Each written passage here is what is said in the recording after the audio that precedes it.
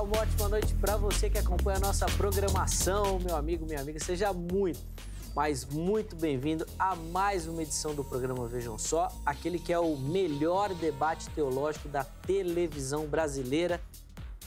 E é muito, muito, muito, muito bacana poder começar esse ano novo pertinho de você, levando até você conteúdo e conteúdo sempre pautado no exame das escrituras sagradas, incentivando você também que nos acompanha a examiná-las, a, a leitura diária, devocional do texto bíblico e não só isso, que você também se desperte e se aprofunde no estudo da teologia, que, que essa seja uma ferramenta útil na sua caminhada. E essa é a missão do Vejam Só. Nós esperamos ah, que agora, nesse ano de 2023, que se inicia, ah, se for essa, obviamente, a vontade de Deus também, que o Vejam Só continue prestando esse serviço a toda a comunidade cristã aqui do Brasil. E é muito bacana poder dividir esses momentos com você que curte, que acompanha, que gosta do programa, repercute os assuntos, comenta. A construção aqui do Vejam Só passa muito por você também, tá bom? Ah, Daqui a pouquinho eu vou falar como é que nós vamos funcionar nesse momento, nesse mês de janeiro aí. Mas antes disso, deixa eu colocar aqui uh, para você que ainda não me segue, vai lá nas redes sociais, arroba Zeca Pereira. Chega por lá para a gente poder conversar, falar um pouquinho de teologia também. Recebo muito carinho da nossa audiência desde já agradeço. E por lá você pode mandar sua sugestão de tema para a gente tratar aqui no Vejam Só, sugestão de convidados, ou a gente bater papo. Pode mandar lá suas perguntas também, a gente curte muito falar de teologia e lá é um espaço bacana para isso também, tá bom? Chega por lá, vai ser muito, muito legal poder trocar essa ideia com você também, tá bom? Eu vou primeiro apresentar o meu convidado, a gente vai falar um pouquinho sobre o trabalho dele e aí depois eu vou explicar como é que nós vamos fazer nesse mês de janeiro, é um mês especial aí, pra gente oferecer um conteúdo bacana para você para começar muito bem o ano de 2023. Aliás, começamos com um convidado muito legal também. Com muito prazer e é um privilégio, vejam só, recebe nesta oportunidade o professor Esdras Savioli, teólogo, escritor e youtuber também. YouTuber. Pode falar assim também? Sim, claro. Professor, seja muito bem-vindo, meu irmão. Uma ótima noite. Eu que agradeço. É, Obrigado pela oportunidade. É muito bom estar participando com vocês, que estão nos acompanhando. Eu sou Esdras, como o Zeca já apresentou, tenho um canal no YouTube, trabalho há alguns anos aí com estudo bíblico, ensino das escrituras. A gente sempre procura trazer temas, temas essenciais, né? Salvação, perdão, oração, temas que muitas vezes passam como um tema básico e pouco aprofundado, a gente procura sempre trazer, explorar ao máximo para que a gente tenha essa solidez no, no Evangelho, caminhe firme com Cristo, tenha o nosso particular ali com Deus, que é essencial, Sim, né? sim. A igreja, a comunhão acaba sendo uma consequência daquilo que a gente faz no particular e o particular precisa dessa base sólida. Né? Sem dúvida nenhuma. A gente vai até colocar, professor, durante o programa aí, os contatos, o endereço, as informações também, mas eu vou pedir pro irmão já fazer a propaganda sim. também. A gente falou que, que é YouTube, mas qual que é o canal? Onde é que o pessoal vai encontrar o seu trabalho lá no YouTube? Legal. O canal é Vai na Bíblia e o Instagram também, o YouTube. Então, Vai na Bíblia você encontra no Face, no Instagram, no YouTube, no TikTok. Onde mais tem rede social? Tudo vai na Bíblia. Digita Vai na Bíblia, lá você encontra nossa rede social. Ô, professor, e o irmão percebe o interesse ah, das pessoas por esse conteúdo? Porque é, é um- uma questão bem de nicho mesmo, assim, né? Óbvio que vai falar para um público específico, que gosta... Como é que o irmão percebe e- esse interesse, assim, do público por esse conteúdo que não é um conteúdo tão simples. Ah, Em alguns aspectos che- chega a ser denso, assim, Uhum. necessita de uma explicação de alguns pormenores. Como é que o irmão percebe esse feedback da, da, da sua audiência, que é enorme? O- o- já tem mais de um milhão de inscritos lá no canal? Então, próximo de um milhão. Então, de um Um milhão. canal grande, assim. Como é que o irmão percebe isso? Assim, no geral, as pessoas têm uma curiosidade a respeito da Bíblia. Né? A Hum. Bíblia é o livro mais vendido no mundo. É um livro onde você tem ali, é, por- pelos cristãos, tido como palavra de Deus. E a pessoa que não é cristã, ela, ela tem essa curiosidade também. Então a gente procura trazer o conteúdo bíblico é, numa linguagem onde o não cristão consiga compreender, Uhum. pelo menos a essência ali do conteúdo bíblico, e o cristão consiga se aprofundar. Legal. Porque a Bíblia, ela, eu costumo dar um, um exemplo, que a Bíblia é como se fosse uma, uma floresta que precisa ser explorada, né? Então, para você explorar essa floresta, é interessante você conhecer a respeito dela, conhecer a vegetação, Uhum. os animais. Então, você não vai de qualquer jeito explorar uma Sim. floresta lá com um facão na mão.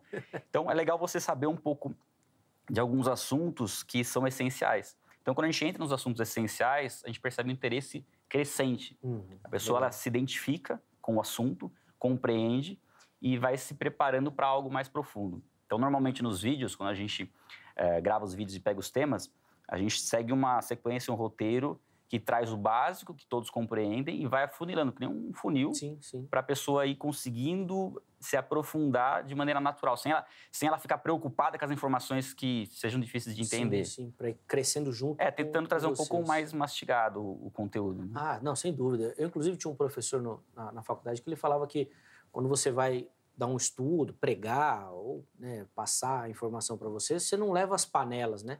Leva o prato pronto, né? Sim. que você colocou ali, ninguém precisa saber. O cara tem o interesse é de saber aquilo, como é que tá, o sabor e tal. E, e é um trabalho que é dificílimo fazer, principalmente, professor, nas redes sociais. Uhum. Porque exige uma linguagem diferente, Sim. né? A gente está acostumado com púlpito, com livro, com a teologia. A rede social exige uma linguagem diferente. Como é que foi para você achar esse timing da, da rede social? É, eu creio que assim, um pouco do aspecto da, da minha experiência de conversão, porque eu tinha uma curiosidade que foi sendo despertada em um determinado momento de conhecer a Bíblia e saber o que, que me garantia que a Bíblia é a palavra de Deus, né? O que, que me garante que o que eu vou ler nas Escrituras é correto? Uhum. Então essa era uma, uma dúvida que eu tinha. Então eu tive que passar por esse caminho, né? Por essa, é, por esses princípios, né? E essas dúvidas, compreender eles e entender como que eu cheguei nesse ponto, como que eu cheguei a compreender as escrituras, qual o caminho que eu segui e tentar transmitir isso através do ensino. E, e algo interessante que assim, é, eu me percebo como uma pessoa, isso no, no geral assim, uhum. claro que isso agora já, já é melhor, mas difícil de entender uma, uma informação de primeira. Então assim, eu recebo uma informação, eu preciso meditar nela, rever ela, anotar para entender. E parece um, um primeiro momento uma falha, mas ao mesmo tempo acaba desenvolvendo uma habilidade de você, uma vez que você entendeu algo complexo, você consegue explicar de maneira simples. Uhum. Então eu entendo que esse ponto foi um ponto importante, porque quando a gente entende algo, algo complexo, fica, aquilo fica mais, mais simples na nossa mente, a gente consegue trazer uma linguagem acessível. E essa linguagem acessível, ela alcança o não cristão também. Sim. E, e aí você tem aquelas pessoas que realmente vão criticar, porque ah, você está na internet, sim. você tem. Todas Normal. as pessoas têm acesso ao seu conteúdo, igual você falou.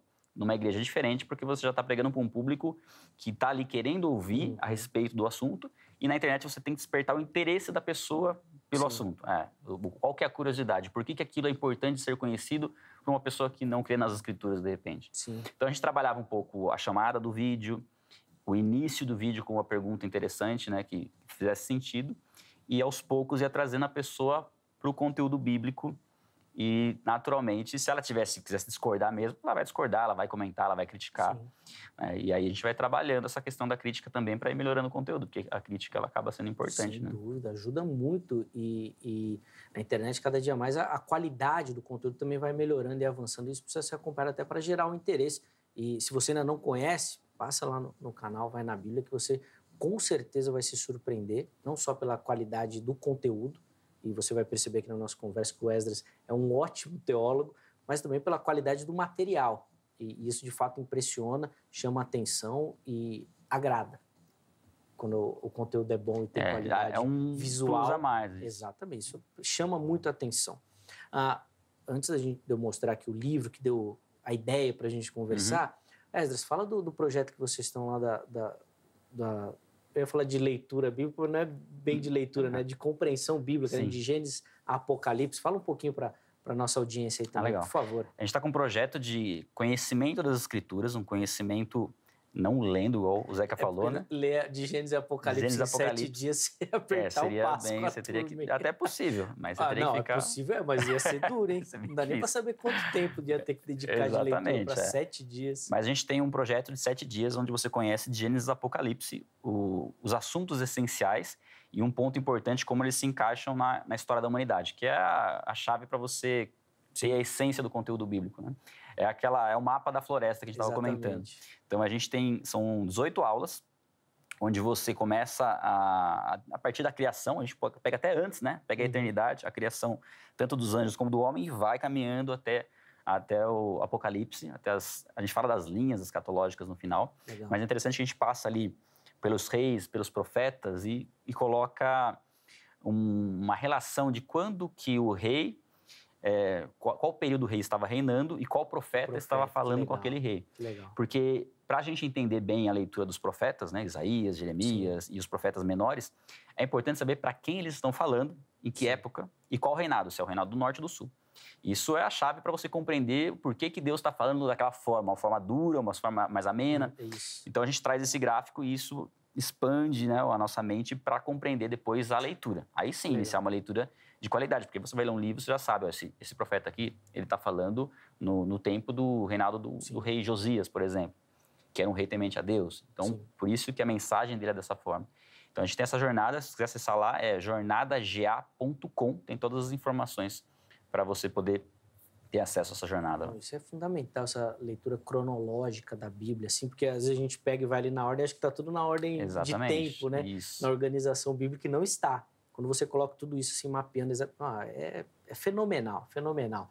Vale muito a pena. Nós vamos deixar todos os contatos viu, do professor Ezra à sua disposição. Durante o programa eles vão aparecer. Ah, se não deu para anotar, perdeu, vai lá no perfil oficial do, do Vejam Só, no arroba programa Vejam Só, que a gente vai deixar também tudo lá certinho para você, para você poder acessar, tá bom? E ter e chegar a esse conteúdo, tá certo? Tá tudo lá para você, não precisa se preocupar. Vamos deixar tudo no esquema, tá bom? Ah, an- antes de mostrar o livro que, que despertou aqui o interesse da nossa conversa, deixa eu só explicar para você como é que nós vamos funcionar aqui nesse mês de janeiro. O que, que a gente preparou para você? Nós preparamos uma série de entrevistas especiais que vão rolar aí durante o mês de janeiro para você que curte, que nos acompanha, para a gente aprofundar e debater alguns temas interessantes com pessoas interessantes também, capacitadas, que vão nos ajudar nessa caminhada. E nós vamos intercalar com alguns debates que foram marcantes no ano de 2022.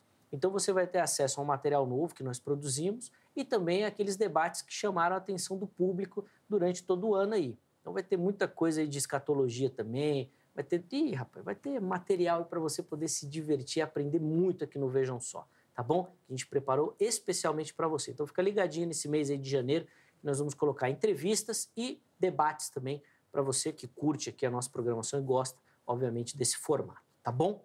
Ah, bom, hoje, Esdras, nós vamos falar desse livro aqui ó, que eu vou mostrar. O pessoal vai dar um take aí para você que está em casa também a acompanhar. Eu quero que você fale um pouquinho, primeiro do material, Uhum. Esdras, para a gente, como é que surgiu aqui essa proposta, essa ideia Do de livro. transformar o seu conteúdo em livro.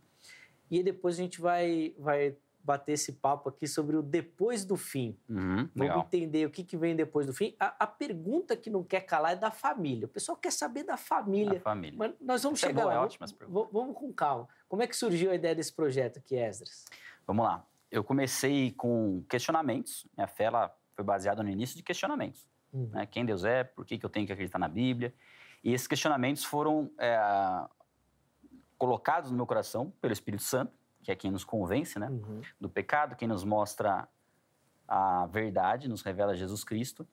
E a partir do, desse, desse desejo né, de saber a verdade, conhecer as Escrituras, me converti lendo as Escrituras, e o desejo de conhecer de maneira mais profunda. Quando eu comecei a ler os evangelhos, sem ser cristão ainda, eu tinha o desejo de ser como os discípulos. Eu via o povo, eu via os fariseus, mas eu falava, não, não quero ser povo, não quero ser o fariseu.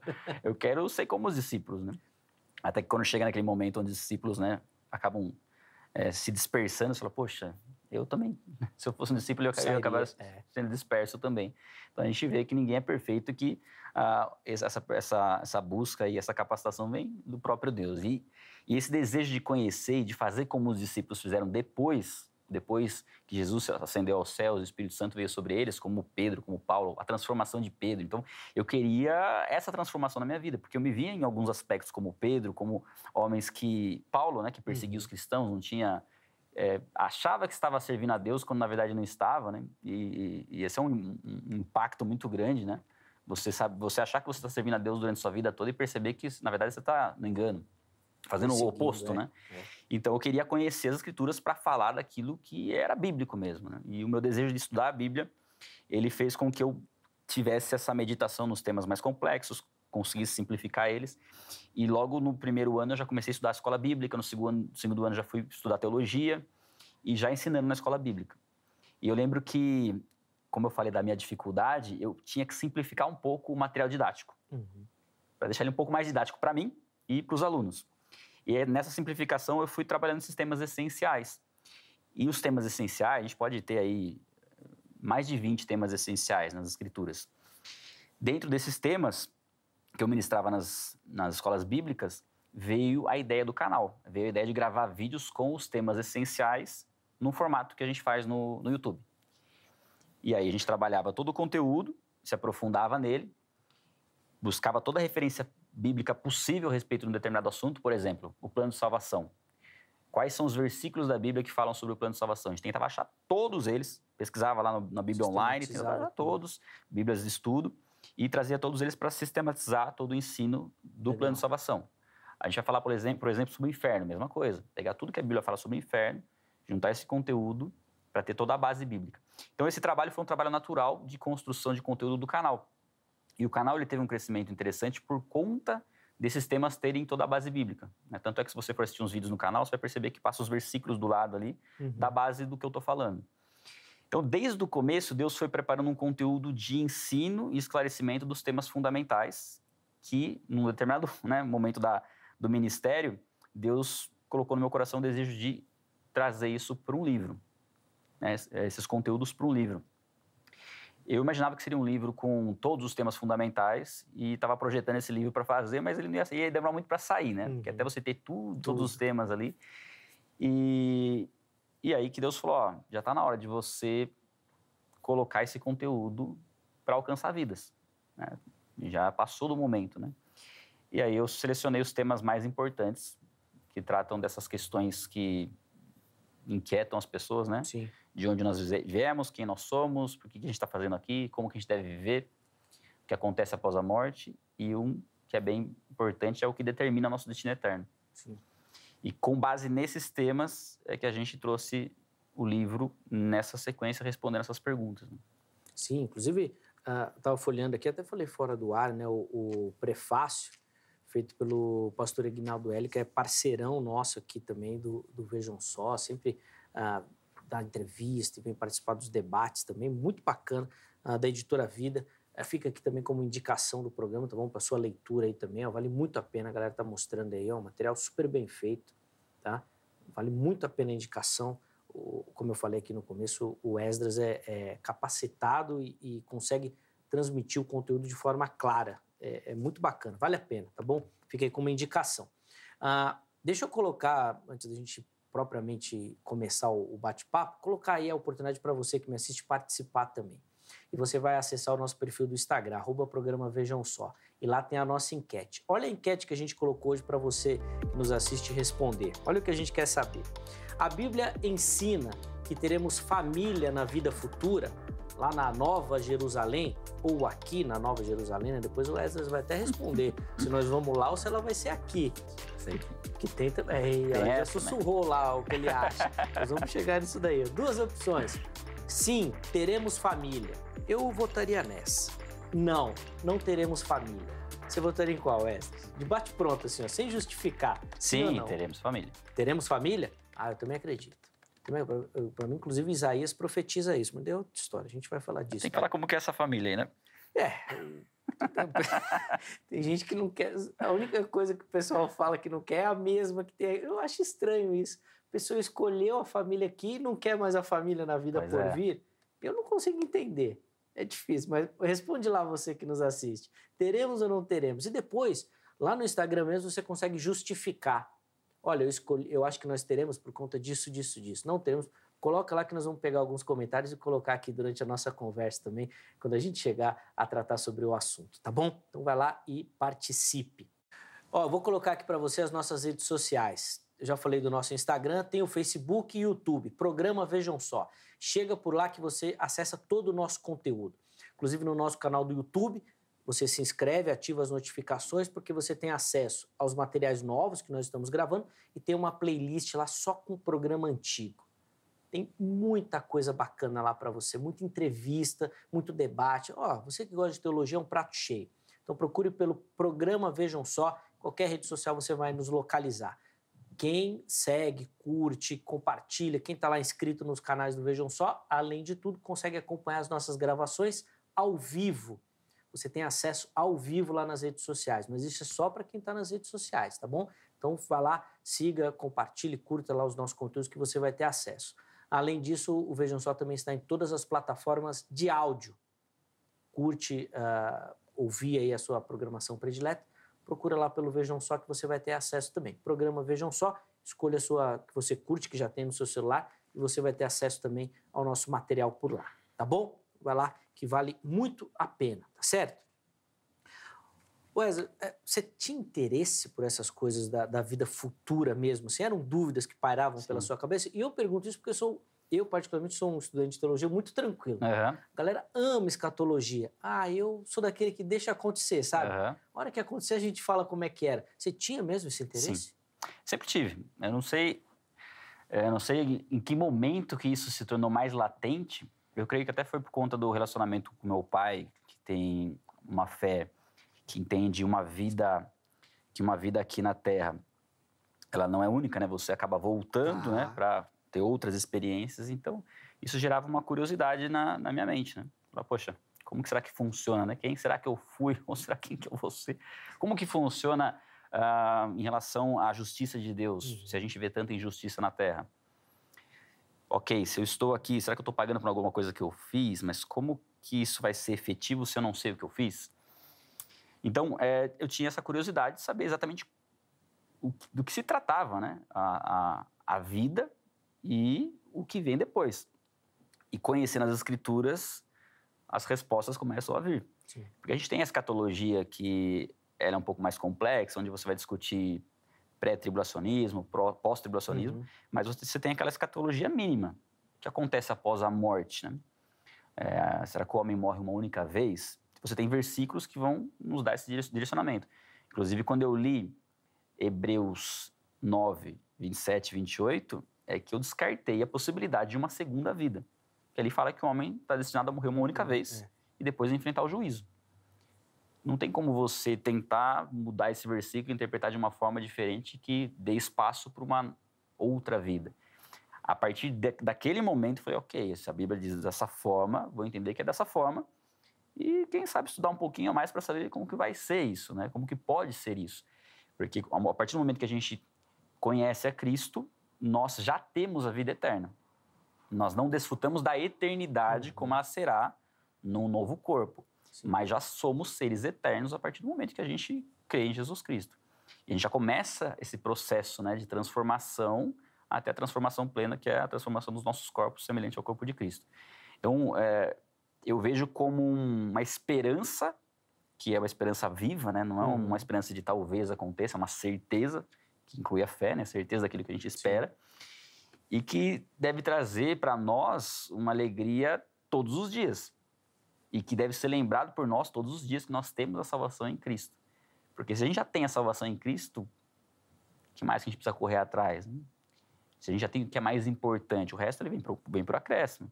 Então, se nós não fomos arrebatados, né, não, não, não subimos no céu para os céus quando a gente aceitou a Cristo, é porque tem algo a ser feito. Só que como Cristo disse, né, nós, nós somos, nós, Ele nos deu a vitória, nós temos que ter bom ânimo, porque Ele venceu o mundo. Então, Paulo fala, né, nós somos mais do que vencedores. Uhum. Então, nesse sentido, a gente pode ter a convicção da salvação. É um assunto que a gente trabalha no livro também, se é possível perder ou não a então, salvação. Então, era, era, era a pergunta que eu ia emendar na sequência, porque você falou você encerrou é convicção, você Sim. falou certeza, você falou já de desfrutar da eternidade, mesmo uh, sem Sim. estar né, já na conversão. Parece indicar que você não acredita na possibilidade de perder a salvação. É. Vamos lá, fala aí um pouquinho pra gente. É, esse é um assunto um pouco mais complexo. Nós temos é, alguns que entendem que sim é possível perder, outros que entendem que não é, é possível perder a salvação. Eu trabalho no livro as duas, os dois pontos de vista uhum. no seguinte sentido. A, a salvação, ela não é algo é, não é uma não é algo frágil, não é algo que você conquistou, porque nós não temos mérito algum na salvação, salvação Sim. é pela graça e pelo que Cristo conquistou por nós. E o sacrifício que Cristo fez por nós, ele foi definitivo. Ele pagou os pecados do passado, do presente e do futuro. Então, se ele pagou pelos pecados do passado, presente e futuro, e ele já perdoou os pecados do futuro, isso tem que trazer uma segurança para nós que a salvação já não é uma questão de pecar ou não. É uma questão de viver no pecado ou livre do pecado. Quando nós declaramos que nós servimos a Cristo, nós somos livres do pecado, não vivemos mais no pecado. Então, eu entendo que uma pessoa que entende que está em Cristo e pode pecar à vontade porque não perde a salvação, ela, ela não, está, né? entendeu né? o que é a salvação. Falta o entendimento pleno da salvação. Porque uma vez que você sabe que o pecado é a razão de todo o mal que a gente vê no mundo, toda a crueldade e aquilo que nos indigna, né? aquilo que levou Cristo à cruz, você vai continuar no pecado? O pecado ele vai ser um acidente de percurso. Então, aquele que está em Cristo, ele tem a salvação. Por quê? Porque o pecado vai ser um acidente de percurso e quando pecar, ele tem a possibilidade de se arrepender, confessar isso diante de Jesus e ser purificado de toda injustiça. Aquele que diz que está sem pecado está mentindo uhum. e faz de Deus um mentiroso, como diz lá em 1 João. Então, é, a salvação, se a gente for entender que é possível perder a salvação, só no sentido de apostasia. A pessoa realmente negar a fé e passar a ser um opositor da fé, tendo conhecido. A, o, o, que a fé ensina. Né? O que a Bíblia, a palavra de Deus, nos ensina, tendo tido, tendo tido uma experiência com o Espírito Santo. Eu entendo nesse sentido. Ah, ok, é possível perder a salvação? Talvez seja no sentido de apostasia. Talvez uma pessoa que se desviou da fé jamais foi convertida. Então, essa solidez da salvação, que é o capacete da salvação, eu entendo que é fundamental para a pregação do evangelho. Porque se a gente não tiver convicção da nossa própria salvação, como a gente vai evangelizar? Pô, aceita Jesus Cristo, que aí, né, se você fizer tudo certinho, você vai ser salvo. Peraí, não faz muito sentido isso. O, preço foi pago por Cristo. Uhum. Né? Então nós temos que ter essa convicção. Uma pessoa em Cristo jamais vai cogitar viver no pecado. Sim, sim. É, eu, eu inclusive defendo essa ideia também. Acho que eu, a, a homem fica mais uma questão do dessa parte do processo de santificação, principalmente. Sim. Quando, nós estamos num processo. É, né? e, e, aí alguma coisa mais da nossa responsabilidade mesmo, ainda que obviamente capacitados por Deus e tudo mais, mas essa questão da salvação eu também eu vou contigo nessa aí. Eu acho que não, não dá pra gente tratar numa coisa tão superficial assim, Sim, assim, tipo preto no branco ali, né? É. Ou hoje acordei salvo, hoje não. Senão você vai entrar numa loucura que você. Exatamente. Ah, Wesley, eu, eu vi que você colocou um capítulo aqui para falar sobre o diabo, cara. Sim que, que, que você descobriu sobre o diabo aqui que valeu a pena você colocar aqui? Inclusive, a pergunta do capítulo é: quem é o diabo? Quem é o diabo? O propósito do diabo é passar despercebido. É, que não falem dele. Ô, rapaz, eu, eu não gosto muito, não. Eu sou presbiteriano, né, cara? Presbiteriano não gosta muito de, é. do diabo, não, né? Deixa ele meio de lado. Deixa ele quieto. Bom, eu entendo que se nós temos o diabo como o pai da mentira, o autor do engano que manipula as pessoas, a maior manipulação é se passar despercebido e fazer as coisas sem que as pessoas percebam que você está fazendo, manipulando. Então, a gente vê, por exemplo, os demônios, né, na, na, aqui no, até no ministério de Jesus, eles se mantinham ocultos na pessoa. Quando Jesus aparecia, eles se manifestavam. Se manifestava. Então, Jesus veio expor as obras do diabo, né? É, tornar elas claras para que o homem possa ver que estava sendo enganado e seguir para o caminho da verdade. Então, quando a gente fala sobre o diabo, é no sentido de conhecer as suas estratégias, seus planos, o seu intuito, saber que ele não tem nada de bonzinho, que ele é um homicida, que ele odeia o ser humano e que vai fazer de tudo para que o ser humano não conheça Cristo e caminhe para a condenação. Então, ele vai muitas vezes oferecer e propor coisas boas, que a pessoa pense que está num caminho de salvação, quando uhum. na verdade está caminhando para a morte. Uma pessoa pode, muitas vezes, prosperar, entre aspas, né? porque nem, nem dá para considerar isso como prosperidade, longe de Deus, e o diabo mantém essa pessoa da forma como ela está. O importante é ela, ela não conhecer a Cristo. Uhum.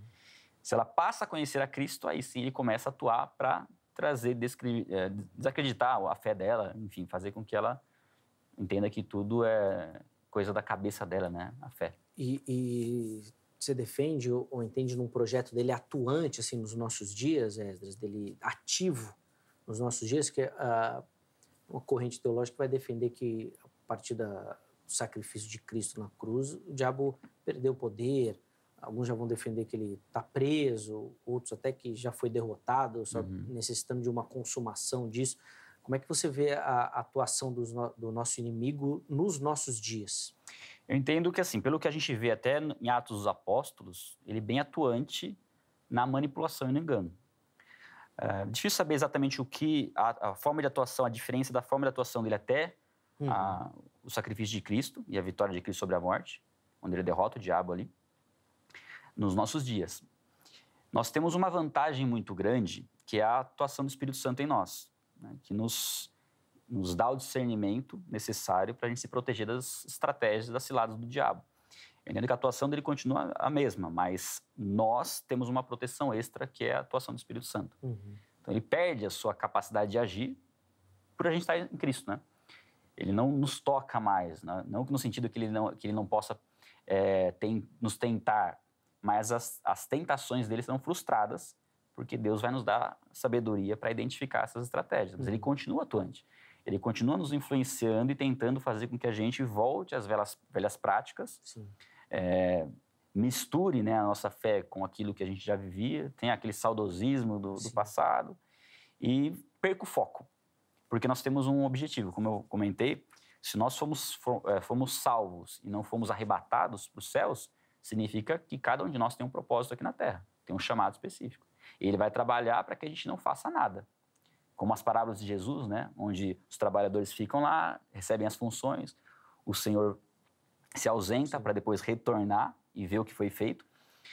Aqueles que fizeram pouco ou não fizeram nada são repreendidos. Os que fizeram o que deveria fazer ou até mais são elogiados.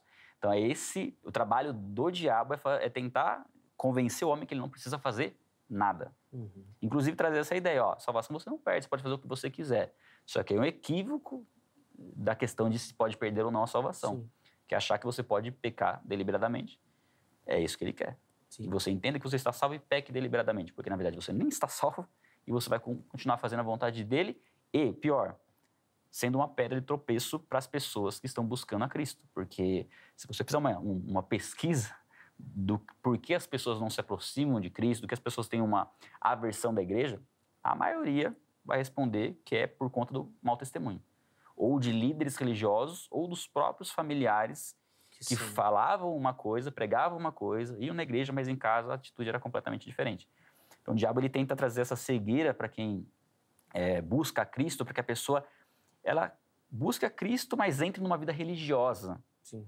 E aí aquilo fica como, como algo, é, não algo verdadeiro, mas algo semelhante aos fariseus. Sim. Os fariseus eles tinham convicção de que eles serviam a, a, a Deus. Uhum. E, e, não dá para a gente duvidar disso. É porque eles estudavam as escrituras e tinham convicção de que eles estavam certos. Quando Jesus aparece, trazendo é, um entendimento diferente, eles rejeitam. E eles estavam tão cegos na forma deles verem que quando eles percebem que realmente não tinha como negar que Jesus era de Deus, porque ele curou um cego de nascença e ele ressuscitou Lázaro, né, que foram os dois Sim. Principais ali, eles falam, ó, não tem o que fazer, tá todo mundo indo atrás dele vai ter que matar ele. Quer dizer, quando eles percebem que Jesus fazia algo que não era dele, que era de Deus, a decisão deles é matar Jesus. Então eles já estavam tão certos de que eles estavam fazendo algo ali é, para Deus, que eles, numa vida religiosa, que eles não tiveram discernimento de falar, oh, se ele é de Deus, vamos aprender com ele. Sim. Vamos rever os nossos conceitos. Mas eles não tinham esse, esse entendimento e acaba acontecendo com muitos cristãos. Entram numa vida religiosa, passam a ser críticos da igreja, crítico de pregadores, pastores, e aí a pessoa acaba mais trazendo um, uma aversão à religião uhum. do que fazendo o papel que Cristo fez de atrair as pessoas a Ele. Sim, até dentro da própria igreja tem esse movimento tem crescido muito, né, na figura, né, dos desigrejados, Sim. que às vezes apontam esses uh, sofrimentos, né, uhum. traumas relacionados à, à religiosidade ou à instituição e acabam colocando isso, mas uh, às vezes prestando um desserviço, principalmente nessa questão do testemunho, né? Sim. né? Às vezes vivendo uma vida uh, livre, vamos dizer assim, mas que vai acabar caindo numa libertinagem, né? libertinagem. Quando a gente fala do demônio, eu gosto muito da passagem do, do endemoniado gadareno, porque eu acho que ali, quando Jesus confronta, eles dão uma informação importante, né? Que eles falam, uh, que, que tem tu que vem nos incomodar antes Sim, do tempo, né? Eles dão um testemunho ali. É, eles já sabem, né? Sim. Que o tempo deles está marcado, que a derrota é certa. Sim. E eles colocam, afrontam Jesus com isso, né? Antes do tempo. O tempo deles está tá, tá guardado. Inclusive, você comentou em relação à ação do diabo, tem uma passagem de Apocalipse que fala que ele está furioso porque lhe falta pouco tempo. A gente Uhum. não sabe exatamente quando que isso vai, vai acontecer, alguns entendem que é na tribulação, mas se ele está furioso porque lhe falta pouco tempo, significa que a atuação dele vai ser mais intensa no- nos tempos do fim. Então não é uma, uma decrescente, é uma crescente a atuação dele. Sim, sim. Tem o período que ele vai ficar aprisionado, né? Aí, segundo algumas visões eh, escatológicas, é o milênio, Uhum. onde ele vai não ter a atuação que ele tem hoje. Aí é um processo diferente, mas depois ele é solto para o ato final ali, né? Mas ele está atuando, atuando nas regiões celestiais, não está lá no inferno agora, que é um ponto importante também. O diabo não está lá gerenciando o inferno. Uhum. né? Inclusive, não tem ninguém no inferno agora. né? O inferno ali vai ser inaugurado pelo falso profeta e, pela, e pelo anticristo, né? São Anticristo. os dois primeiros a serem lançados lá. Ah, tem, tem uma corrente que ela já foi mais forte, hoje ela tá meio assim, que é a- aquela que defende que todo mundo vai ser salvo, né? Em algum Uhum. momento, assim, todo mundo vai ser Salvação salvo. universal. né? Ah, tem um capítulo que você fala do inferno, acabou de falar do inferno, que Uhum. eh, você ah, acredita realmente que a Bíblia aponta para esse caminho de, de condenação eterna daqueles que não professaram a fé em Cristo, Esdras? A Bíblia traz duas opções né, para a vida após a morte: ou salvação ou condenação. E deixa claro que muitos serão condenados. Então, a, a- o ensinamento de que todos serão salvos no final não é bíblico, não tem respaldo bíblico. Deus é misericordioso, paciente, para que todos cheguem ao arrependimento. Esse é o desejo de Deus. Mas nem todos vão se arrepender. Apocalipse deixa isso muito claro. Quando a gente começar, começa a ver as catástrofes que vão acontecer, ali, ali os selos, as trombetas e as Uhum. taças, você vê que aqueles que estão sendo afligidos pelas catástrofes não, não estão pedindo perdão e se arrependendo. Eles estão se recusando a reconhecer o senhorio de Cristo. Eles continuam rebeldes. Então a gente vai é, é muito claro nas escrituras que vai haver essa condenação. Aí, no final de Apocalipse ali mostra os mortos sendo julgados de acordo com o que foi feito, sendo lançados no inferno. Então esse é um ponto, ponto, ponto chave. A outra questão é se o inferno, a condenação do inferno, ela é eterna ou ela é temporária. Sim. A pessoa vai lá, ela vai sofrer durante um tempo, vai deixar de existir, ou ela vai continuar sofrendo eternamente. E aonde estaria a justiça de Deus para uma pessoa ser condenada eternamente se a pessoa pecou durante um tempo limitado aqui na Terra? É uma pergunta que muitas pessoas sim, fazem. Sim. Poxa, a pessoa pecou aqui 80 anos, vai ficar sofrendo lá eternamente? Não é justo. E aí tenta se fazer uma amenizar a questão do inferno para Deus parecer mais justo, né? Uhum. Então vamos, ó, o inferno não condiz com a santidade de Deus, com o amor de Deus, no lugar de tormento eterno. A pergunta é: será? Será, de fato? Porque quando a gente fala sobre o pecado, nós temos que considerar a gravidade do pecado diante de Deus. Porque muitas pessoas, elas até elas rejeitam a salvação porque elas não entendem que elas são tão más. Elas veem pessoas muito piores do que elas, elas comparam o pecado delas com pessoas piores e se acham boas. Uhum. Eu sou uma pessoa boa, não prejudico ninguém, sempre quero ajudar os outros, é, atuo em, em obras é, de caridade, enfim. Ela tem essa autojustificação. Mas diante de Deus, o menor pecado ele é gigantesco, porque o nosso pecado é contra o Criador do universo. Então, a gente até comenta no livro é, as consequências do pecado. Qual que é a consequência de uma mentira para o seu filho? Ela é uma, um- uma consequência X. Uma mentira para sua esposa. Ah, a gente pode colocar aí 2x. Sim.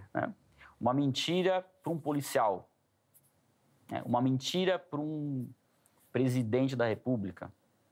Dependendo do país que a pessoa está, ela pode ser condenada à prisão, Uhum. à morte. Uma mentira ao Criador do universo. Então, as consequências são mais graves dependendo de contra quem foi a ofensa. né? Então, nesse sentido, o nosso pecado contra um ser absolutamente santo, ele é um pecado muito grande. Sim, muito Tanto é que a condenação por esse pecado é o inferno. Tanto é que o pagamento por esse pecado foi um pagamento de sangue. Jesus não veio aqui simplesmente e teve um infarto. Não, ele sofreu como homem, com as mesmas limitações que a gente tem, com a mesma sensibilidade que nós temos. Uhum. Sofreu tanto na parte emocional, psicológica, como física, ao extremo, na morte mais humilhante que um ser humano eh, pode ter, né? sendo pregado nu numa cruz, como um maldito. Essa morte, ela pagou por um pecado gravíssimo, que é qualquer pecado comparado com a santidade de Deus. A condenação era o inferno. E aí a questão, esse inferno, essa condenação no inferno, ela é eterna? E aí a gente pode ir para os atributos de Deus, para compreender o quanto a, uma condenação eterna evidencia o amor de Deus, na verdade. Porque se nós entendemos que Deus é eterno, é perfeito e infinito em tudo que ele é, infinito em bondade, infinito em amor, e nós só encontramos isso em Deus, se nós decidirmos viver longe dele, o que nós podemos esperar diferente do inferno? Se nós estamos decidindo viver longe do amor. Porque na nossa vida, nós temos experiências boas e ruins, todos uhum. os dias, né? Você Sim. vai ter experiências boas, por exemplo, estou tendo uma experiência muito boa de estar aqui, e tinha uma experiência um pouquinho ruim do trânsito, por exemplo. Então a gente vai tendo experiências boas e ruins ao longo das, do nosso dia e ao longo da nossa vida. E nós vamos percebendo que experiências boas são melhor, melhores né, do que experiências ruins. Se a gente tiver que, tivesse que escolher, a gente ia ficar só com as experiências boas. Por que, que Deus, sendo a bondade absoluta, nós não escolhemos Ele? E parece que o ser humano não entende isso, né? É, tem essa dificuldade. É o Espírito Santo que traz essa clareza para nós, de mostrar que bom somente Deus, estando nele, é que a gente vai desfrutar de bondade, né? de plenitude. Agora, se a gente decidir ignorá-lo, o que a gente vai esperar é algo de completa ausência da bondade, do amor. E a Bíblia tem inúmeras passagens que mostram que a condenação, a salvação e a vida é eterna, assim como a condenação. Uhum. É um versículo de Mateus que é o versículo chave disso diz, né? E estes irão para a vida eterna, mas os, aliás, ao contrário, né? esses irão para a condenação eterna, mas os justos para a vida eterna. Uhum. Então você tem ali na, na, no mesmo versículo, no mesmo contexto, a palavra eterna, que é a Ionios. Ela não, é, dificilmente ela ia significar coisas diferentes na mesma frase, no mesmo contexto. Esse é o versículo chave. Mas a gente tem vários, várias passagens é, que diz lá, né, para todo sempre, é, onde o, o, o, verme não morre. Sim. É, que mais que nós temos ali? É, é, danação eterna. Os que definem principalmente essa questão da, da, da, consumação final são essas referências ao fogo, né? Sim. Jogou no lago de fogo. O cara fala, ah, mas você acha que alguém vai sobreviver no lago de fogo? Vai morrer. Talvez, logicamente, tudo bem, mas nós estamos pensando num corpo transformado, Sim, são outras exatamente. demandas que não tão naturais quanto o nosso conhecimento agora, né? É, normalmente a defesa da, do, do, inferno temporário, ele vem com esse exemplo da de fazer perecer como é aqui na Terra, né? Sim. né? Sodoma e Gomorra eles usam como Isso. exemplo, né? Sodoma e Gomorra não ficou queimando, não está queimando para sempre, mas a nossa realidade será uma realidade espiritual. Sim, é outra. Então é outra, não dá é. para a gente usar esse aspecto para algo eterno, né? Sim. Eu, eu inclusive, acho que é, nós teremos esse entendimento, Wesley, que você está falando assim, quando a gente tiver, inclusive, a nossa mente transformada Sim. e restaurada, no sentido até, é, e se for o caso, eu não tenho absoluta certeza disso, da gente imaginar alguém dos nossos lá, assim, sabe? A gente vai ter esse entendimento Sim. de falar, poxa, é, tá merecendo, sabe? ou mereceu, é, ou, creio... ou, é algo que, que, que acontece, porque o nosso entendimento será transformado. Sim. É, depois a gente pode até falar um pouquinho mais dessas lembranças também, assim, lá na, na vida eterna. Sim. Você pode comentar, por favor? Não, é porque nós teremos acesso à justiça perfeita de Deus. Isso. Então, assim, hoje nós temos uma limitação muito grande intelectual. Que é a nossa justiça. A né? gente não conhece o interior das pessoas. Uhum. Você não conhece, você conhece a sua esposa, o seu marido, até certo nível. Boa. A profundidade só Deus conhece. Até nós mesmos, você se conhece com base nas suas experiências que você teve. Hum. É, você poderia ser uma pessoa diferente de acordo com aquilo que você vivenciou. Sim. Por isso que a gente até comentou, né, que às vezes a pessoa se, se compara com o pecado de uma pessoa com outra. Eu, eu, gosto de dar o exemplo daquele filme A Cabana, né, que tem um livro sim, sim. e o filme. A gente tem uma, algumas questões teológicas ali, né, que são um pouquinho... Mas a essência daquilo que eles passam no filme é excepcional. Por quê? O, o, o pai perde uma filha Hoje eu sou pai de duas filhas. Eu consigo imaginar a dor daquele pai. Né? A dor daquele pai de, de não compreender o porquê daquilo que tem acontecido e do ódio que ele nutriu com aquele que praticou aquilo. E o filme trabalha isso, né? Trabalha isso na mente, no coração dele, e chega um momento onde ele tem acesso ao que aquela pessoa que acabou abusando e matando a sua uhum. filha, viveu na infância. Todo o maltrato que ele sofreu do pai e todo o trauma que gerou um distúrbio na vida dele para ele cometer aquele ato. Isso não é uma desculpa para a pessoa cometer um ato, mas faz a gente pensar que será que se eu não tivesse tido a mesma experiência que ele teve na infância, uhum. eu não teria desenvolvido um comportamento semelhante? Então, isso nos coloca em pé de igualdade, no sentido de que, se nós formos entregues à nossa própria natureza, nós iremos para o mal. Então, nesse sentido, a gente começa a entender um pouco mais é, a nossa incapacidade de julgar as pessoas. Mas, quando a gente conhecer a Deus, e a gente tem uma passagem ali, até já adiantando um pouquinho, né, da questão da nossa consciência na eternidade, em 1 Coríntios 13, que diz que nós conheceremos plenamente como somos plenamente, plenamente conhecidos. Conheci. Então, nós teremos um entendimento na eternidade é, é, assim, indescritível. Mas, acima de tudo, nós conheceremos Deus e a sua justiça perfeita e veremos como ele agiu de maneira perfeita em cada situação, por mais difícil que seja, ele tomou a decisão correta, perfeitamente Sim. justa. A gente não vai ter dúvida da justiça de Deus nos céus. Por isso que a gente vai entender por que, que as pessoas foram condenadas, toda a, todas as oportunidades que elas negaram, o que estava no coração delas naquele momento, o que elas sentiram, a atitude que elas tiveram. E vamos nos surpreender também com muitas pessoas que a gente vai achar que não estariam no céu, estarão lá. Estarão lá, é. sem dúvida. Falou aí de estariam no céu, já vamos partir para essa aí de como okay. será a, a, vida no futuro, né, depois de todas as coisas, com um lugar. O imaginário popular diz o céu. céu nós vamos isso. estar no céu. Nós vamos estar no céu, Wesley? O que, que você defende? Então, eu entendo que é muito mais amplo do que a nossa mente pode, é. pode chegar. Então, o primeiro ponto para a gente falar sobre a eternidade é entender a nossa limitação.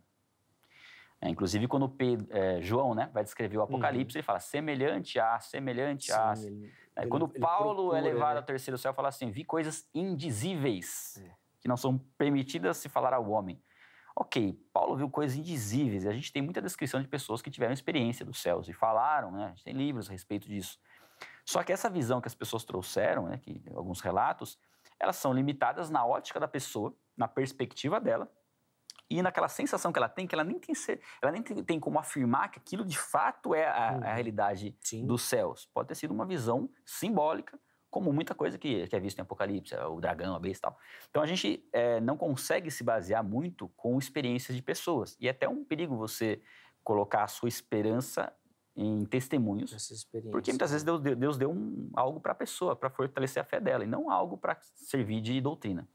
Mas, quando a gente vai para as Escrituras, a gente tem muito mais informações do que a gente normalmente imagina. Nós temos Jesus, que foi morto, e ressuscitou com o seu corpo, sendo glorificado, né? seu corpo foi transformado.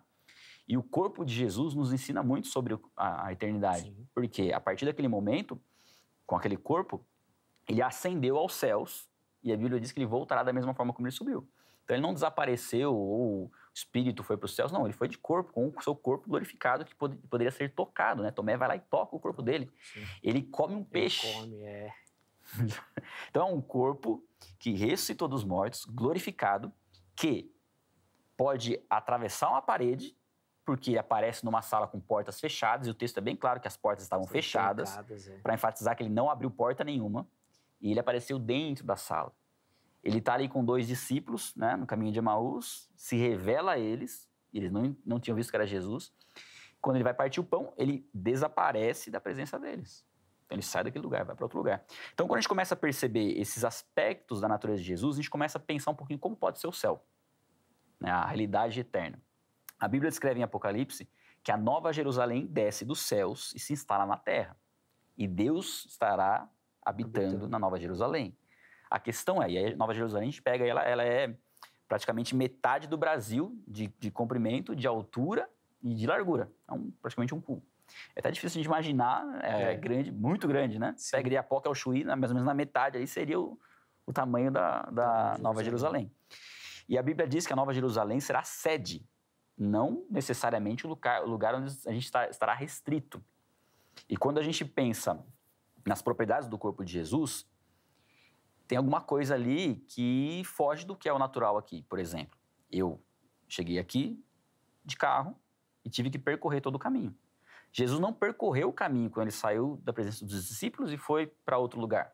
Ele simplesmente se Apareceu. teletransportou. A gente conhece isso como teletransporte. É, teletransporte, né? é, é. É a forma como a gente conhece. Uma pessoa está num lugar e vai para Aparece outro lugar. direto, o homem sim. deseja isso, né? Sim. A gente sim. tem isso até em filmes dos anos 80, né? A Mosca, Ah, é por verdade. exemplo, É verdade. que ele constrói duas cápsulas. Só que aí quando ele entra em uma lá, entra uma mosca, né? É, Posso dar spoiler de um filme de, de 84, eu acho, 83?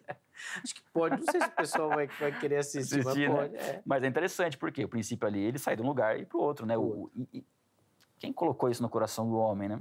Uhum. Quem colocou tanta criatividade nas pessoas em, em produzirem conteúdo. É, é interessante que a gente consegue ver isso um pouco naturalmente na, na, na- na ação do homem, né?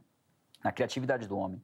Porque você percebe que alguns filmes, inclusive ah, o livro, né, 1984, que tem Uhum. todo um, um- um conteúdo mostrando coisas futuras, né? Sim. É, e nós temos até a produção de filmes que muitas vezes alguma coisa lá aparece primeiro no filme e lá na frente é produzida. Por Uhum. quê? Porque aquilo já estava dentro do coração do homem. O desejo de se comunicar à distância é algo que sempre teve no homem. Isso foi conquistado há poucos, Sim. poucos anos, poucas décadas atrás. Né? a comunicação que a gente tem hoje, a transmissão ao vivo, é, várias pessoas acompanham a nossa conversa aqui. é, se a gente pegar aqui, ah, sei lá, 200 anos atrás, a única pessoas que iam saber a nossa conversa é você Exatamente. e quem tivesse próximo. É, Agora a gente consegue alcançar milhões de pessoas por conta de algo que era inimaginável lá atrás. Então a gente vai projetando toda a evolução da comunicação e de como que as coisas funcionam hoje. E o céu? Que é algo muito mais amplo do que isso. Então, às vezes, a gente limita muito o que pode ser a vida nos céus. O nosso deslocamento nos céus. Porque um corpo glorificado, será que ele precisa, precisa de oxigênio? Será que Jesus precisava do peixe? para se alimentar e para manter o corpo saudável? Não, é um corpo imperecível. sim. Ele comeu peixe pelo prazer de comer um peixe. né? Nós poderemos respirar o ar pelo prazer de respirar o ar, mas não necessariamente depender do oxigênio. O oxigênio faz parte da nossa natureza aqui. Agora, se a gente não depende de oxigênio, quais locais que nós conhecemos que falta oxigênio e que nós não podemos explorar porque não temos oxigênio?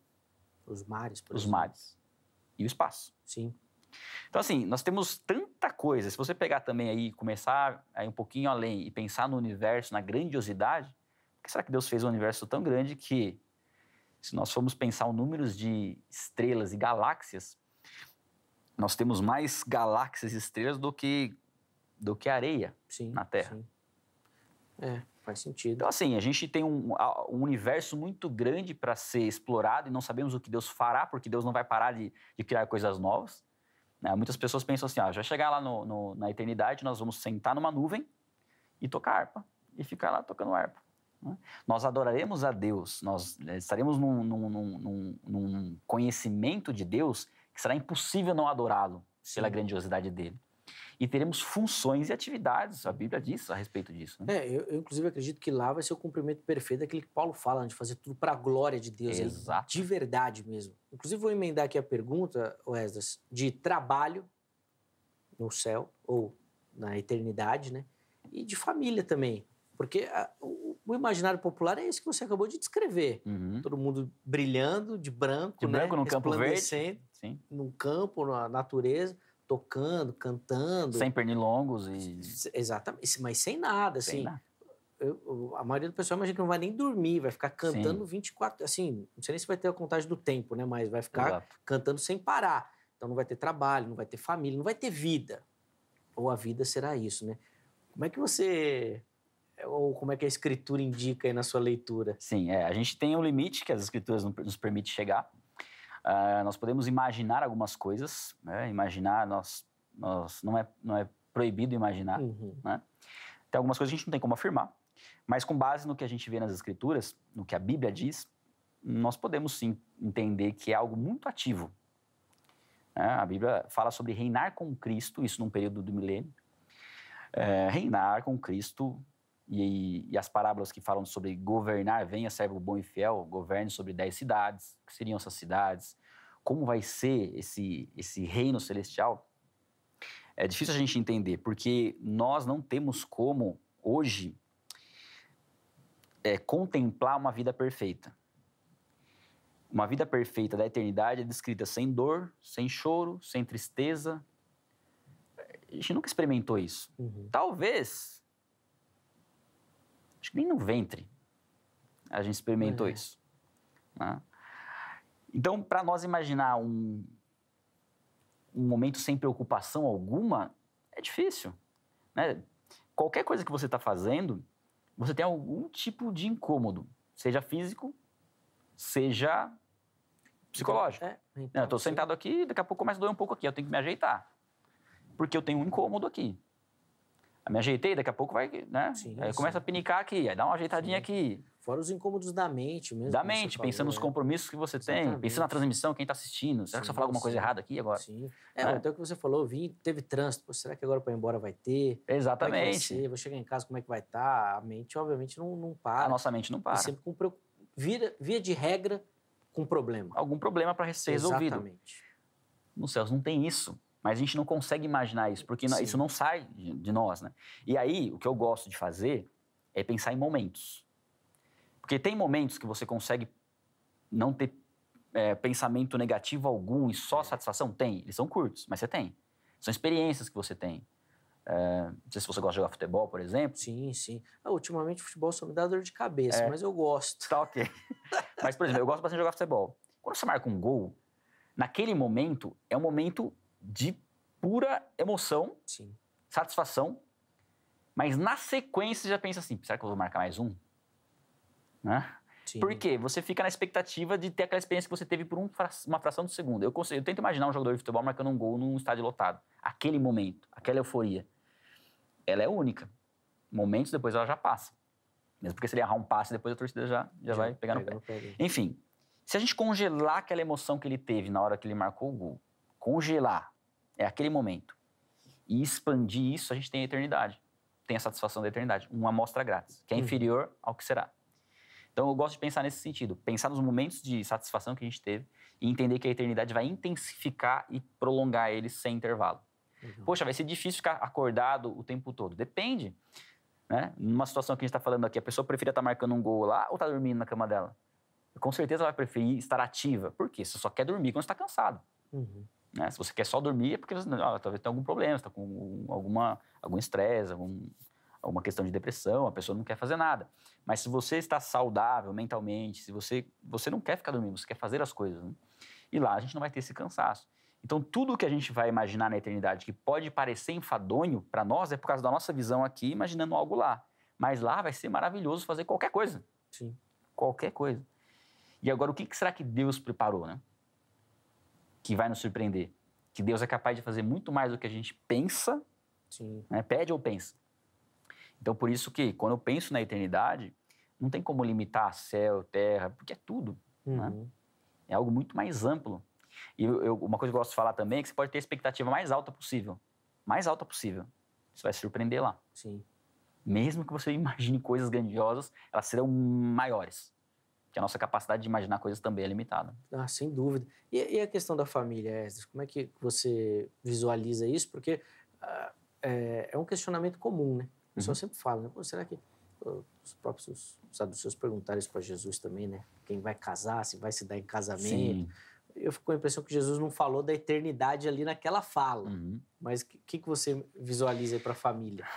Também entendo que a Bíblia não é clara nesse sentido. É difícil a gente imaginar relações como serão as relações na eternidade, mas algo que é importante a gente, a gente considerar, porque o que, o que, que gera essa, essa curiosidade, é, normalmente? É você ter tido experiências, muitas vezes, de ter perdido uma pessoa querida. Uhum. E aí o seu desejo dos céus é rever essa pessoa. E sem ter essa esperança é difícil, realmente. Você viver um luto uh, sem ter a expectativa de encontrar essa pessoa. Sim. A única chance que nós temos de encontrar uma pessoa querida é estando em Cristo. Sem estar em Cristo não tem como encontrar essa pessoa. Então, uma pessoa que, por exemplo, perdeu um ente querido e abandona Deus, ela está seguindo o caminho para nunca mais encontrar a pessoa que ela tanto amou. É. Se ela buscar a Cristo, ela é a única possibilidade dela encontrar essa pessoa.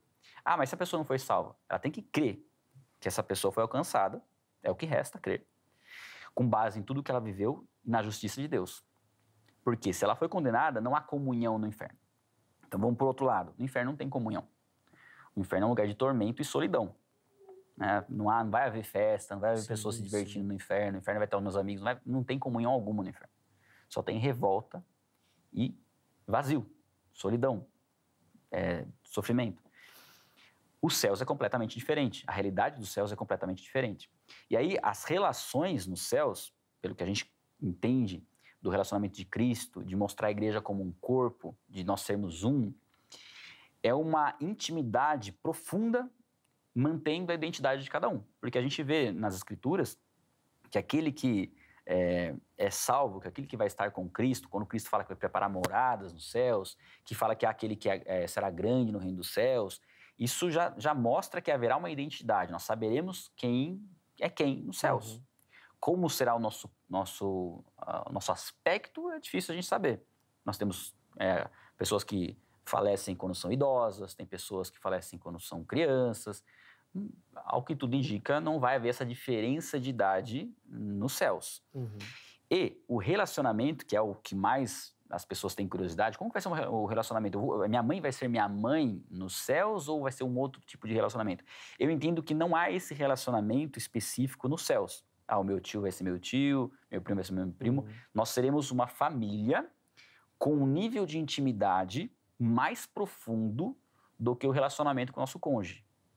Com um nível de saber quem nós somos e, e, e, e estar em contato com as pessoas mais íntimo, mais profundo do que um relacionamento familiar. Nós seremos como uma família, nessa profundidade, Sim. mais intensa do que agora. A pessoa que você não conhece aqui, você conhecerá na eternidade e ela será mais íntima do que o seu cônjuge. A satisfação de estar com essa pessoa será como se ela fosse sempre da sua família. Então, eu, eu a gente pode ter relacionamentos é, é, por afinidade, talvez dependendo das funções que nós teremos nos céus. Isso depende uhum. muito do que é, é essas, essa atividade nos céus. Mas a nossa relação com a criação, ela será completamente transformada. Sim, Porque a nossa mente será, será diferente. Porque hoje nós conseguimos amar os nossos familiares sendo limitados intelectualmente, né? As nossa, é, mentalmente, vamos Sim. dizer assim. E no coração também, nas nossas emoções. Agora, tendo tudo isso pleno, é mais ou menos a gente pensar assim, ó. Vamos imaginar o seguinte. É, a nossa capacidade de amar aqui é como se fosse um disquete. Não sei nem se a pessoa que está assistindo é, que é um disquete. Lembrar, é. Um disquete, né, nos anos 90, era um, algo mais ou menos desse tamanho. Tinha os maiores, Sim. né? Mas 90, mais ou menos desse tamanho aqui, que você conseguia armazenar ali umas... 4 mega? Uns, umas 20 fotos, vamos dizer assim.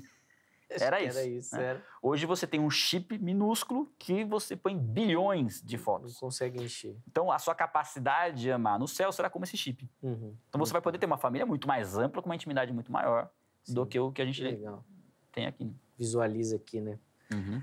Preciso encerrar o bloco. Parece que a gente já está mais de uma hora conversando, né? Mais de uma hora. Passou rápido demais o nosso bate-papo, mas tenho certeza que para você que nos acompanha é muito edificante também, de muito aprendizado. Eu pelo menos curti pra caramba, gostei muito.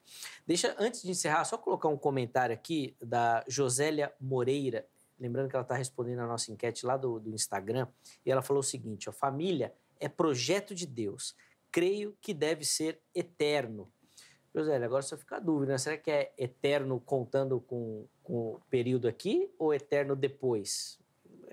Ficou questionamento, e depois você manda lá para a gente entender também. Ó, antes do intervalo, deixa eu colocar aqui o telefone da Grade, Academia Teológica da Graça de Deus. Quer estudar teologia, é, quer lapidar esse talento, esse dom que Deus colocou na sua vida, procure pela Grade. É o código 11 3115 0819. Código 11 3115 0819 é o telefone da Grade. Anota direitinho. Aí amanhã, em horário comercial, você liga, tira todas as suas dúvidas. Tenho certeza você vai se encaixar em algum modelo, formato que a grade oferece para você poder estudar e se aprofundar no conhecimento das escrituras sagradas. Além disso, vou deixar aqui também o site da HIT, gosta da emissora, da programação, dos programas, vai lá que tem muito conteúdo. E a HIT, obviamente, está em todas as redes sociais também, para você que gosta de navegar pelas redes sociais. Lá no nosso canal oficial do YouTube, o canal oficial da HIT no YouTube, você acompanha a nossa programação ao vivo, além de ver e rever aqueles programas que você mais curtiu, tá bom? Tem playlist ali individualizada de todos os programas aqui da programação. Aí você consegue acessar, ver aquele que você perdeu, rever aquele que você mais curtiu e, obviamente, compartilhar todo o nosso conteúdo também, tá bom? Chega por lá que eu tenho certeza que você vai se divertir bastante. Intervalo rápido, na sequência a gente volta para as considerações finais e principalmente uma aplicação para você que nos acompanhou aí que toda essa história da vida futura precisa impactar na sua vida presente. Fica ligadinho que nós vamos fazer isso no próximo bloco. Vejam só, vai, mas na sequência nós já estaremos de volta.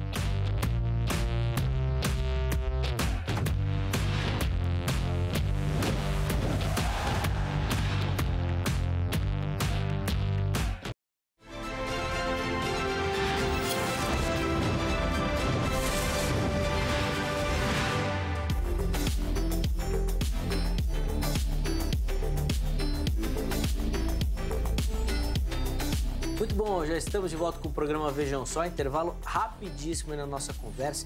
Hoje recebendo aqui no nosso estúdio, olha, um bate-papo de muito conhecimento, muito bacana. Tenho certeza que você que acompanha aprendeu demais e ainda vai ter tempo aqui a gente fazer algumas considerações finais e uma aplicação para você do tema que é importantíssimo também. O professor Esdra Savioli, ah, do canal Vai na Bíblia, procura lá no YouTube que você vai encontrar o material dele, no Instagram também, vai na Bíblia que você vai na Bíblia é para você procurar as respostas e vai na Bíblia no canal também, tá bom? Porque aí você vai encontrar tudo lá, ele vai te ajudar nessa caminhada também e tem sido muito bacana a conversa, que daqui a pouco a gente já vai retomar para fazer essas considerações finais sobre ah, como será ou o que acontecerá depois do fim, tá bom? Apesar que também no primeiro bloco a gente falou de bastante coisa, né? Sim.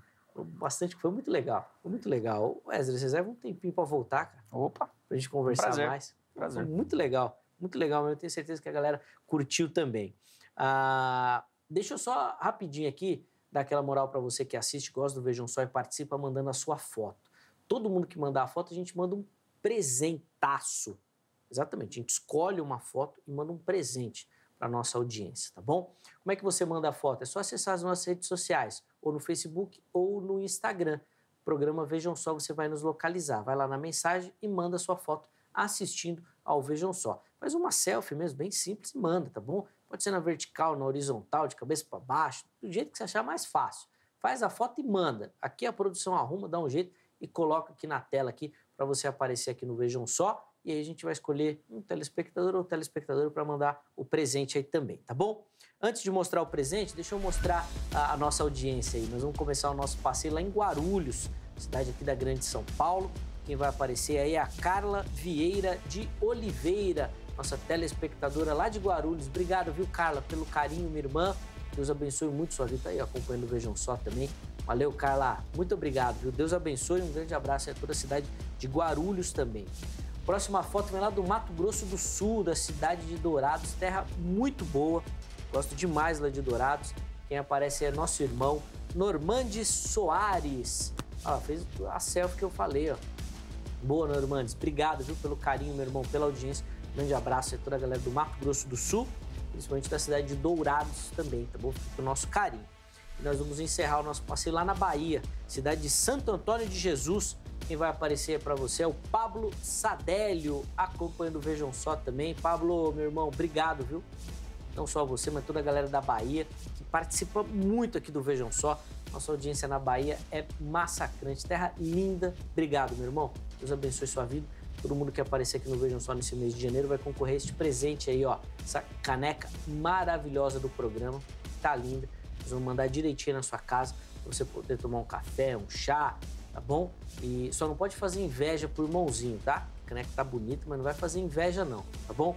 Ô Esdras, não adianta olhar aí pra caneca, que a nossa produção é coração duro, viu? É só pra audiência. Nossos é. convidados não ganham, não. Vamos negociar isso. É, vai você que assiste e ganha. Nós vamos mandar aí na sua casa, tá bom? Fica tranquilo que todo mundo que vem aqui pede. É, Tem que né? chorar pra Angélica depois, da a caneca também, porque ficou bonita mesmo, ficou lindo. Mas nem eu tenho, viu? Mas eu vou chegar lá. Esse ano de 2023 nós vamos tomar posse dessa bênção aí. Esdras, infelizmente nós vamos caminhando para o final da, uhum. do nosso bate-papo. E eu queria, nesses minutinhos que faltam aqui, três, quatro minutinhos, uh, a gente focar numa aplicação para o nosso telespectador. Porque sempre que a gente fala de escatologia, parece, ih, rapaz, lá para frente, deixa para lá. Parece que não tem que mudar nada na nossa caminhada aqui e agora. Uhum. E eu queria que nessa aplicação a gente focasse nisso. O que, que isso precisa transformar nosso, a nossa maneira de ver as coisas, a nossa caminhada? Por que, que a pensar na vida futura é tão importante hoje? Eu gosto de refletir num versículo, né? No final de Apocalipse, Jesus diz assim: Eis que venho em breve e a minha recompensa está comigo, e eu retribuirei a cada um de acordo com o que fez. Esse versículo eu creio que seja suficiente para a gente uhum. entender que o que nós fazemos aqui, ele não determina a nossa salvação, mas é a recompensa eterna que nós receberemos de Cristo. Então, enquanto nós aguardamos esse momento, como eu disse, nós temos que ter convicção da nossa salvação, nós temos que buscar conhecer o nosso chamado e viver a vida que Deus deseja que a gente viva. Uhum. Porque nós seremos recompensados da eternidade. E desejar essa recompensa não é interesse, é fé. Porque se a recompensa vem de Cristo, né, quem somos nós para não receber essa recompensa? Então eu creio que saber do que é o final e da esperança que há, isso muda o presente. Quando você entende que você, nossos pés estão, né, nós estamos assentados nas regiões celestiais com Cristo Jesus, as coisas se tornam mais simples aqui. Mesmo que difíceis, nós sabemos que é temporário, uhum. que é uma brisa, que é passageira, que não dá para se comparar com a glória que nos será revelada.